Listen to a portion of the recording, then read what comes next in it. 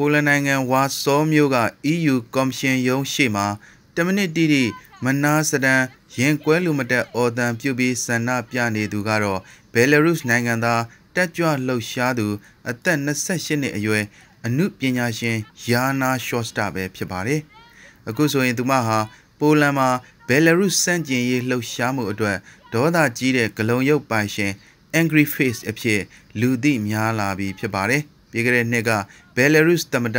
အလက်ဇန်ဒါလူကာရှန်ကိုရဲ့အငင်းပွားပွဲရာရွေးကောက်ပွဲပြန်လည်ဝင်ရောက်မှုအပြီးကစလို့ရှော့စတာက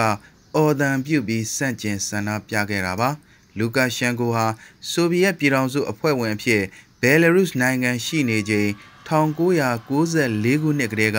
နိုင်ငံကိုအုပ်ချုပ်လာခဲ့သူဖြစ်ပါတယ်ဘယ်လာရုစ်စန့်ကျင်ရေးတင်ကြတဲ့အယောင်ဖြစ်တဲ့ဖြူနီကြားဝတ်စုံကိုဝတ်ဆင်ထားတဲ့ရှော့စတာက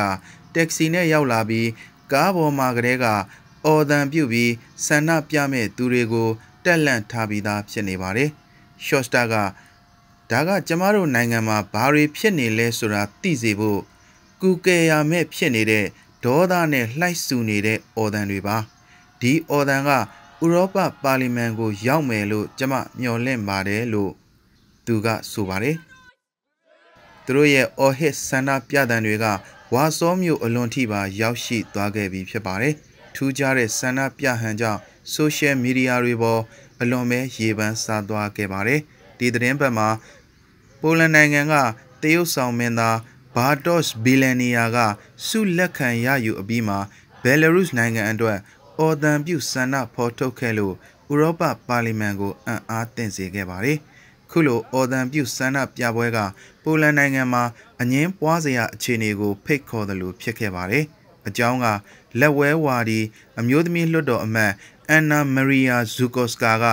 ရှော့စတာအင်ဂျီဝတ်တာလေပင်ဟိုက်လွန်တယ်လို့ဝေဖန်ခဲ့လို့ပဲဖြစ်ပါတယ်။အဲ့ဒီဝေဖန်မှုအပေါ်ရှော့စတာကကျမနေထိုင်နေတာ21ရာစုခေတ်ပါ။လိန်ကိုင်းညွတ်မှုမှာလူတိုင်းဟာလွတ်လပ်စွာရွေးချယ်ခွင့်ရှိတယ်။ ကိုနှစ်သက်တယ်လို့ဝတ်ဆင်ခွင့်ရှိတယ်။ကိုနှစ်သက်ရာပုံစံနဲ့ကိုကိုကိုဖော်ပြခွင့်ရှိတယ်။မီဒီယာတွေမှာပွဲဆူသွားတယ်ဆိုတာကလည်းဘယ်လာရုစ်မှာဖြစ်နေတဲ့အခြေအနေကြောင့်မဟုတ်ဘူး။ကျမကအတွင်းကန်ဘရာစီယာဝက်မထားလို့ပါ။အမျိုးသမီးလက်ဝဲနိုင်ငံရေးသမားရဲ့ဝေဖန်မှုကြောင့်ကျမမှာအံ့အားသင့်ရပါတယ်လို့ပြန်လည်ဖြေကြားခဲ့ပါတယ်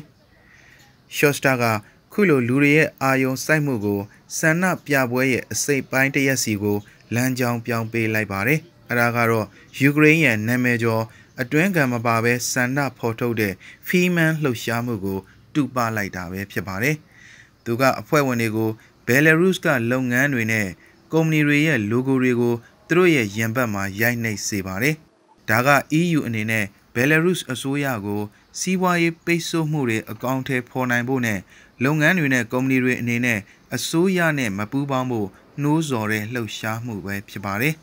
။ဒီလောက်နဲ့မရဘူး။ဒီအစိုးရကိုဒေါ်လာတန်းချီဝင်ငွေပေးနေတဲ့နိုင်ငံတကာကုမ္ပဏီတွေကိုစီးပွားရေးပိတ်ဆို့မှုတွေတကယ်လုပ်ပေးစေချင်တာလို့ Shortstar ကဆိုပါတယ်။ကျွန်တော်ကတော့အခုလိုအော်ဒန်ပြူတာနဲ့